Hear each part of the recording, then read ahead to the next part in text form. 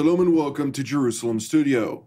There's been a lot of criticism against the United States' approach towards the Middle East since US President Barack Obama took office and changed the world's leading powers' foreign policy, bringing back chaos to an already challenging region. To discuss the United States' regional involvement and the implication it has on the Middle East, are with me in the studio Steve Lindsay, uh, Linde, editor in chief of the Jerusalem Post Daily. Welcome. Thank you. I'd like also to welcome our TV7 analyst, Mr. Amir Oren. Thank you. Amir, the United States has a strong effect on the region. It always has uh, since it really took the forefront in leading the, the international community, uh, defined as the, the world power, the Rome of the 21st century. Since Obama took office, things started to change. There's been already talk for a longer time by the Democratic Party in the United States of the use of smart power, which is more soft power, trying to use diplomacy and, and other aspects into this uh, uh, broil of, chaos, uh, which is called the Middle East. How are things really uh, going on right now with the United States on that matter? Why don't you tell the Islamic State about uh, smart power or soft power? They apparently haven't heard of uh, it. Uh, they uh, try to uh, go about it the old way. Now, there is an eternal uh, debate about continuity and change in American foreign policy. And even during the last seven years of the Obama regime, you might ask yourself how much continuity versus how much change. These were indeed tumultuous years whether Obama caused the upheaval here or was only there when it started, the Arab Spring, uh, and so on and so forth. We can go on uh, about it. But his uh, uh expressed aim to pivot to the Far East has gone to naught because the Middle East is still the most important, the key region in the world, and the United States is going to have to deal with it uh, even when the next uh, occupant gets into the White House January 20th, 2017. Mm-hmm. Uh, Mr. Linde, when we're talking about the United States, key allies of the United States in the region, whether it's Israel, whether it's Saudi Arabia, whether it's uh, other regional players who have had a key uh, decision making within the constellation of the region, have felt as if they've been abandoned by the United States. Uh, if you look at uh, recent months where Saudi Arabia has taken a very aggressive approach, uh, trying to uh, voice their own desire to to maintain their power on the one hand, and on the other hand to really uh, set in their strategic goals before the American strategic goals that they have had for so many years. Then we have also Egypt, which has you know, when Abdel Fattah al Sisi, the uh, president, came out and said, We're not going to put eggs just in one basket, we're going to try and spread them around. And you see an active policy of trying to find more players within the constellation of um, of allies, uh, which the United States have been a key factor for Egypt in past years, and Israel as well. You see now a look towards the east, which Netanyahu has spoken about a few times. You see also a look towards Russia, uh, the coordinated mechanism set in place with President Putin about regional affairs. What is going on here? Um, it's a good question. I'm not sure that I have the answer. I think that um, clearly, from the Obama administration's point of view, Iran has been the central issue in its foreign policy agenda and and making that historic deal with Iran last year uh, was key. But in doing so, I think uh, the United States, uh, if not alienated, certainly angered uh, both Israel and Saudi Arabia, and to some degree uh, the Gulf states as well, um, all of whom vocally or not so much opposed the Iran deal. Um, for all kinds of reasons, Iran being a major sponsor of terrorism in the Middle East, etc., uh, and also uh, a sponsor of proxies such as Hamas in uh, Gaza and Hezbollah in Lebanon. But I think uh, if you're asking about the general big picture, um, uh, yes, um, the, the Middle East is in, in a chaotic state, and we're seeing all kinds of forces at work here. I think Amir would agree.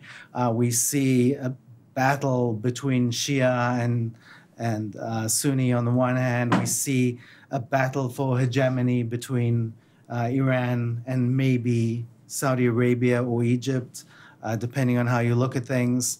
Um, from Israel's point of view, I think um, this has been a, a learning curve. Suddenly, there's daylight in our relationship with our biggest ally, Washington. Mm-hmm. Uh, and I think it was created purposely by the Obama administration um, for all kinds of reasons. Like you said, it was a, a pitch to the uh, Muslim world, his Cairo speech, um, and also because I think Obama wants his legacy to be this Iran deal.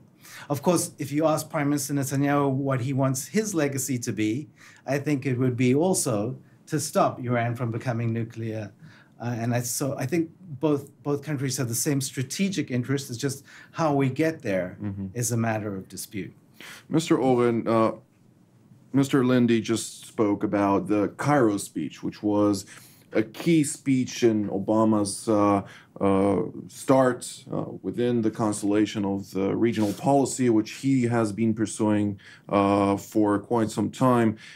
Uh, when Obama came here, he actually looked at the Muslim Brotherhood and put on them a lot of his weight. A lot of his chips were put on uh, the Muslim Brotherhood, which fairly so were really on the rise. Uh, you could see also Turkey on the one hand, which is a strong supporter of the Muslim Brotherhood, with uh, Recep Tayyip Erdogan having great relations with the United States at the beginning of the uh, Obama administration.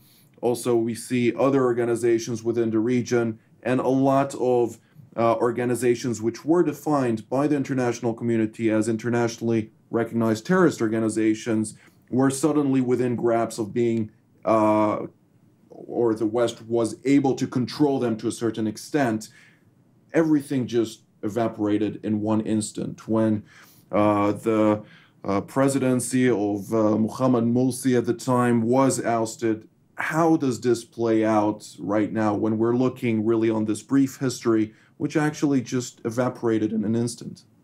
Well, Barack Hussein Obama uh, is obviously the first minority president that the United States uh, ever had. And when his picture joins those on the wall, uh, it will be uh, evident. Um, he probably had some more foreign travel uh, than uh, your typical American teenager growing up. He grew up in Hawaii and in Indonesia, and he uh, visited his uh, father's relatives in Kenya, and he traveled as a young man in Europe.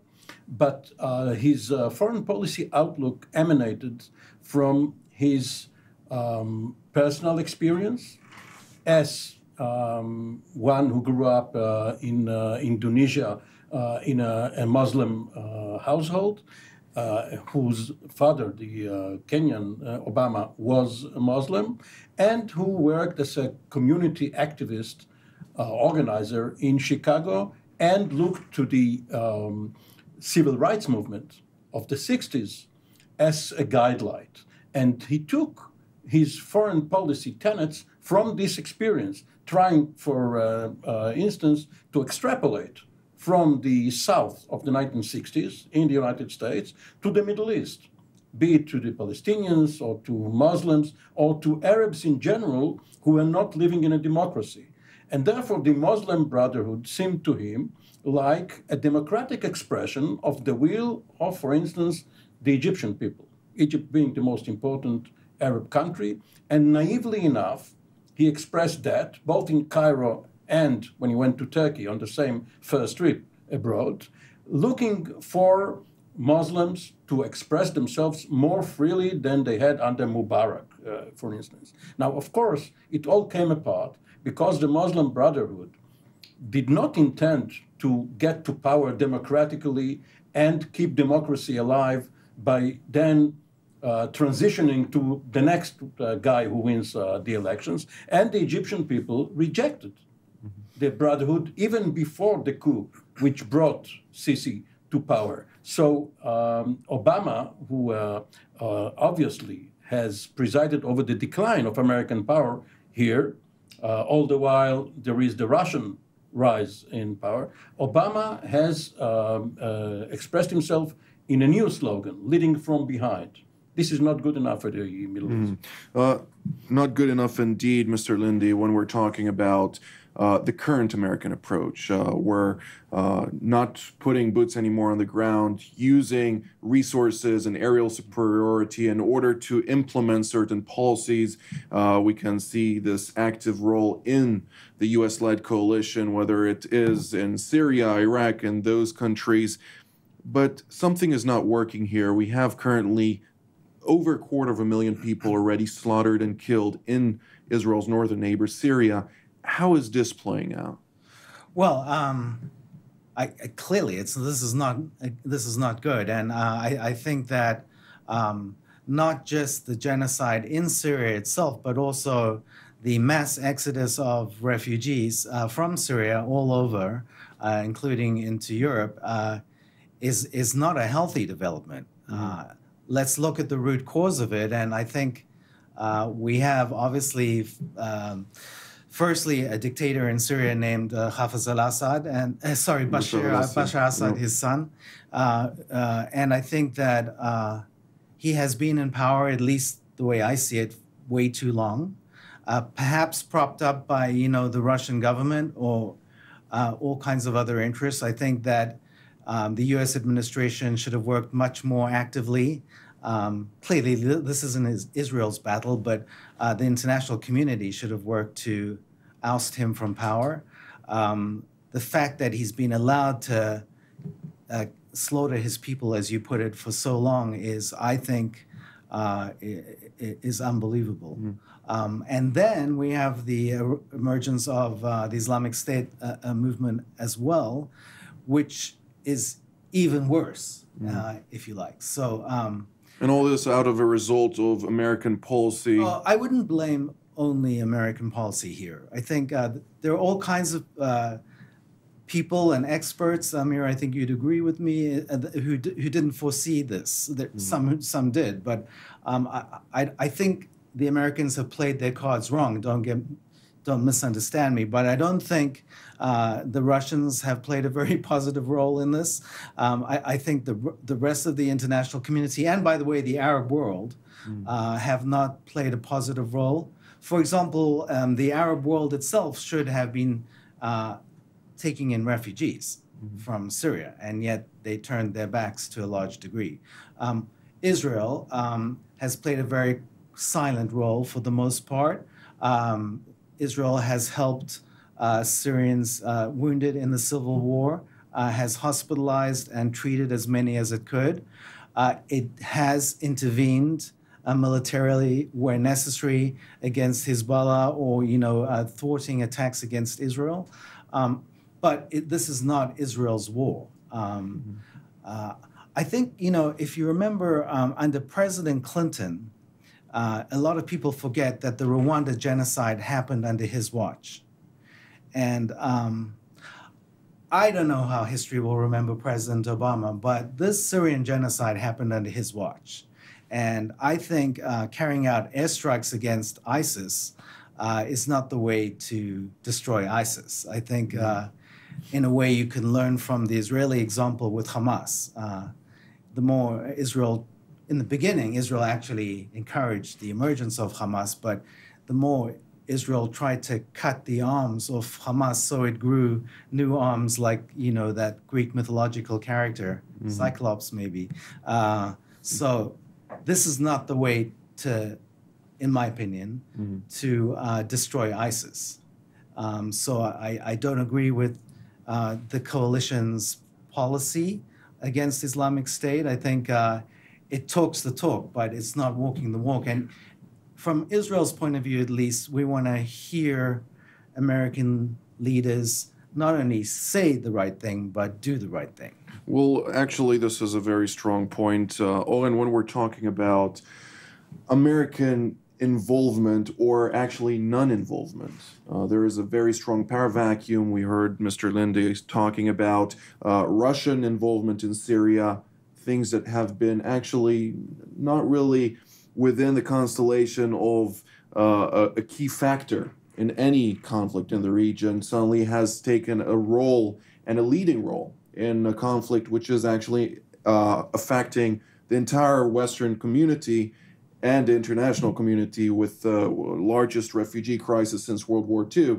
So uh, this is on the one hand, and we have Israel uh, with uh, actually doubts about American uh, involvement in certain things, how much it actually keeps Israel within its strategic thinking, and some worries have been uh, arisen by uh, key factors of the defense establishment and Saudi Arabia. You can see also this aggressive approach by various uh, key factors who have been uh, regional dominating forces. Suddenly, a lot of uh, changing in the power balance, which we talked about last week. Uh, what is going on there? Well, uh, several points here. Let's um, tick them off, not necessarily in that order. Israel has nowhere else to go. You mentioned uh, looking east, um, perhaps to China or India, but uh, it's not viable. Israel gets uh, approximately $3 billion a year in defense assistance from the United States. And this is one facet of American involvement in the region, which uh, shouldn't be ignored. When we say the Americans uh, are not as involved as they used to be, remember that this is a fact, much as uh, Israel's um, being a strategic asset is, is a fact. Now, when you talk about the country, it seems as if we understand what we are talking about. But countries here in the Middle East are composed of communities, of tribes. They are multi confessional. Is Lebanon really a country? Is Iraq really a country? Is Syria under a minority Alawite uh, dictator a country? And therefore, when they fall apart, this would be the natural um, order, um, unless you have a dictator, and dictators in this region do not lead, they are the lead. They are the lead on the simmering pot. And when you take this lead off the pot, as the Americans did with Saddam Hussein uh, 13 years ago, or as the civil war, the, the uncivil war in Syria has been doing for the last almost five years now, then you have uh, uh, this sort of uh, mayhem. Now, uh, the American experience is that they are not able to commit themselves for a very long time in this region. There just is no domestic support for that. And therefore, if you are not able, enable. This is what they are now saying. We will be the enablers. Enabling mean giving intelligence, logistics, training, weapons, money, uh, coordination, anything short of boots on the ground. Now, Defense Secretary uh, Ash Carter has been in the region and, as well as in Europe over the last couple of weeks, and he has uh, expressed a three stage policy. First of all, get at what he calls the parent tumor, the parent tumor of ISIS in Iraq and in Syria. Obviously, the Americans are doing double the amount in Iraq as they do in Syria. In Syria, the Russians take the lead. Then attack ISIS in other places like Libya or Yemen, wherever they get out of their parent tumor. And the third one is protect the homeland, the, the United States. Now, this is a long, drawn out process unless they are able to get at the two centers of gravity of ISIS, Mosul in Iraq and Raqqa in Syria. Mm-hmm. Mr. Linde, how are we looking in Israel within this constellation? Well, I think uh, Israel's feeling very left out and isolated. Um, I think um, the lack of engagement by the United States in the Israeli Palestinian conflict has also taken its toll. And um, I'm not blaming that, but uh, it's certainly one of the reasons for the upsurge in terrorism against Israelis in the, in the last several months. Uh, which you know no one really knows is, is it getting better or worse what is the security situation here what is behind these so-called lone wolf attacks and will it become more organized we've seen to some degree um, uh, you know it's moved a little bit now with the uh, uh, murder of a woman in her home in, in the settlement of Otniel this week. Um, it could be shifting and it could be escalating. Mm-hmm. Um, I think that from Israel's point of view, it wants to see support from its most important friend in the world, the United States. But I think from the Palestinian point of view, and I, am not a Palestinian spokesman as well, the Palestinians also feel left out in the cold when it comes to, well, why has the United States disengaged so uh, obviously mm-hmm. um, from from the peace process and not urged the sides in any way and exerted any pressure on them to come back to the table?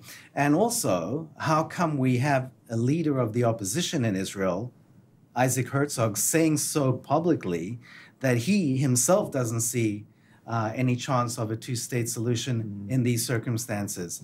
That certainly can't be good either for Israel or the Palestinians or the Middle East in general. This may not be the core of the Middle East conflict, but you cannot ignore it. And at some point, as Amir Oren said, you're going to have to address it. Mm. Um, I think the longer you leave it, the worse it is. Uh, it's been left certainly long enough. If you if you want to, depends where your starting point is. But right. if, if 67 is your starting point, it's been left way too long. And the, the longer you leave it now, the more the settlements will become a fait accompli, and the more difficult it'll be to have any kind of a solution. Mr. Oren? Um, I, I uh, obviously agree with Steve, uh, but the chances for an outside intervention by great powers is less now than it was before this uh, regional uh, chaos uh, overtook all of them and demanded uh, so many assets from them and so much attention. If 20 years ago or so, Israel and Syria uh, could have reached an agreement regarding the return of the Golan Heights under certain conditions in return uh, for peace and uh, the imposition of some UN uh, uh, brigade on the Golan Heights to demilitarize or to serve as a buffer. Right now it's uh, almost uh, impossible to, to think about it because of all the commitments and because there will be so many other organizations uh, which are not going um, uh, to obey uh, to whatever any uh, Syrian government, if we ever are going to see a Syrian government back in Damascus holding sway over the entire country. So um, the, the um, American led multinational uh, uh, force and observers in the Sinai is always on the brink of being evacuated. First, because uh, it was not needed, and now because it is under pressure by Daesh or Wilayat uh, Sinai. Uh, uh, so this this particular wish by Israel and the Palestinians, perhaps even more so by the Palestinians, for some internalization of the conflict has a slim chance. However, uh, within this crisis, there is also an opportunity. For instance, um, for better ties between Israel and Saudi Arabia, mm-hmm. who seem to be on the same page regarding Iran, uh, for instance. But this calls for creative uh, leadership and uh, some forward uh, seeing policy. This actually brings me to a, a very uh, specific question here. Uh, Mr. Linde, you spoke also before about the nuclear agreement with Iran, the implementation of the uh, nuclear agreement, which has actually lifted the sanctions on the Islamic Republic and brought about new Iranian policy, a new Iranian involvement, if you will, within the constellation of the region. It's a lot more active. It has also a lot more resources in order to seek certain aspirations to really develop its uh, military capabilities and strengthen its uh, position within the proxy war of the region. Its rival, Saudi Arabia, as uh, Mr. Oren stated, has also brought Saudi Arabia and Israel closer together. But we see a lot of images, a lot of uh, press conferences, a lot of situations where the United States is pretty much playing best friends with Iran at the time when its allies are terrified from Iran, right. where Defense Minister Moshe Yaalon from Israel announces that Iran and the Islamic Republic is still the arch enemy of Israel. Saudi Arabia also voicing many concerns, uh, severing ties with it. Where does the United States actually stand here? Well, again, I'm not speaking for the United States, but um, it seems to me that, as Amir Oren said, new alliances are being formed, and maybe that is uh, a positive uh, development. Um, in terms of uh, why the United States has decided to bring in Iran as sort of a member of uh, the civilized nations and whether that'll work, again, only history will tell. But it, it doesn't seem that um, the Iranian ballistic missile test and uh, various other violations of the deal, as well as an Iranian cartoon contest on Holocaust denial, or an Iranian, I saw a comic strip uh, thing on the internet where they are bombing Saudi Arabia. I mean, these things should be taken seriously. Iran is, and now that it has all this money, I think it's a very dangerous situation. I think in the wake of, in the face of that dangerous situation, these new alliances between Israel and moderate Arab states, uh, as you say, perhaps Saudi Arabia, uh, could all come together, perhaps in some kind of new international Middle East conference to discuss uh, ways to confront the new Middle East. But um, I certainly uh, think that the time has come to um, uh, for a new effort. Uh, again, who leads this effort? I, I don't know. Maybe uh, we'll be surprised. Maybe it'll be someone like uh, China or Russia. But uh, it seems like the United States, for now anyway, mm. is pulling away. Mr. Oren? Uh, Persia, now Iran, has always been a regional power, and it has ambitions to be um, a world power. Um, this has almost nothing to do with the Islamic Revolution. It happened under the Shah when Iran was Israel's de facto ally, and it was the custodian of the Persian Gulf for the uh, United States. Now, what Obama is obviously trying to do is prepare the ground for the Khamenei succession.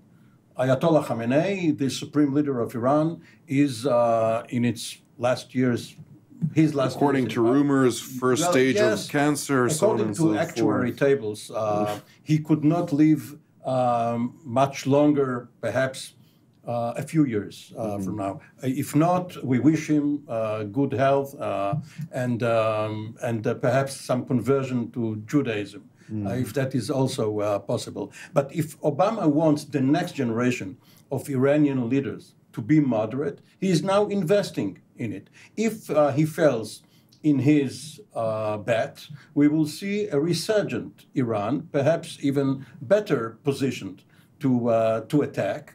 However, uh, Iran uh, will always decide according to its own egocentrical interests. Not what is good for the Muslims or for the Arabs, what is good for the Iran. One sentence, uh, closing sentence from you, Mr. Linde.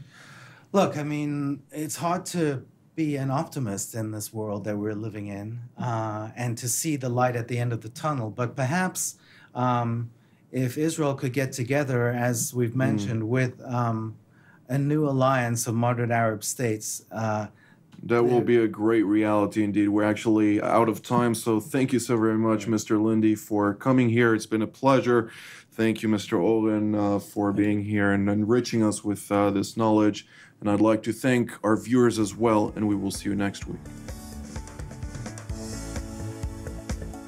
You just watched Jerusalem Studio. If you were enriched by the program, please consider supporting Heaven TV 7 Jerusalem. Call us at 0600 10077 or send your donation using the bank account reference number on the screen. You can also donate via PayPal. Jerusalem Studio is made possible by your donation.